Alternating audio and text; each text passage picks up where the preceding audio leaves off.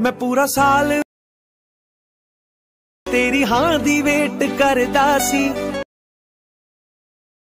ਅਸੀਂ ਤੇਰੀ ਹਾਂ ਦੀ ਵੇਟ ਰਹਿੰਦਾ ਸੀ, ਡਰ ਤੇਰੇ ਪਿੱਛੇ ਲੱਗੀ